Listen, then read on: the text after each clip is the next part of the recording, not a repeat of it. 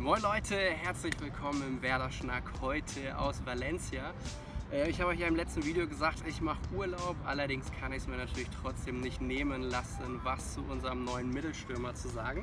Ishak Belfodil, äh, ich hoffe, ich spreche ihn direkt mal richtig aus, ähm, aber auch da werden wir sicherlich in den nächsten Tagen äh, die richtige Aussprache kennenlernen, erfahren von ihm selber, sicherlich auch in den Interviews. Und es war noch mal sowas wie ein Last-Minute-Coup von Baumann, wieder mal ein Name, den keiner auf dem Zettel hatte, ähm, ganz, ganz Baumann-typisch, eigentlich hätte man damit von vornherein rechnen müssen. Kein Origi, kein Bild, Beric, kein Onuachu. Es ist ein Spieler, den wir jetzt erstmal geliehen haben, wo ich dann auch selber denke, das ist auf jeden Fall ziemlich gut, dass wir das so gemacht haben, dieses Konstrukt. Eine Million Euro soll die Leihgebühr betragen. Für zehn weitere Millionen Euro soll man sich den Spieler kaufen können und es ist eigentlich ein ganz guter Deal, wenn man bedenkt, dass auch schon ein paar Premier League Clubs vorher mal dran gewesen sind und Lüttich den eigentlich für deutlich mehr nicht abgeben wollte. Und auch sonst ist es ein Spieler, der ein sehr, sehr interessantes Profil hat, auch so ein bisschen als Wandervogel bekannt. Acht Vereine in den letzten acht Jahren. Das spricht jetzt nicht unbedingt für sowas, was Fußballromantiker als Vereinstreue nennen. Nichtsdestotrotz äh, können wir in Bremen hoffen, dass er eine sofortige Verstärkung darstellt. Mit elf Toren aus 24 Spielen hat er auch eine ganz gute Quote in Lüttich gehabt und auch bei uns soll er jetzt erstmal so ein bisschen die schwächelnde, in Anführungszeichen, Offensive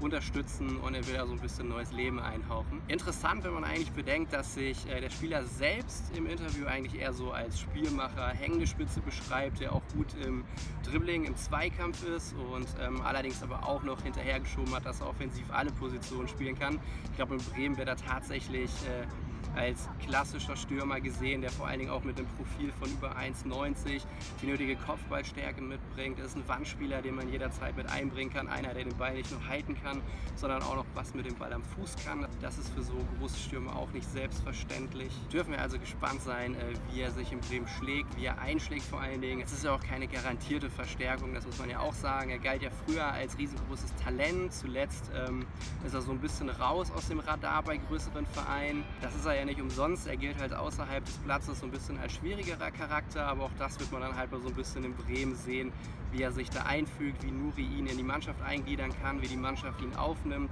Da wird sicherlich auch äh, die sportliche Qualität und seine sportliche Leistung ein entscheidender Faktor sein.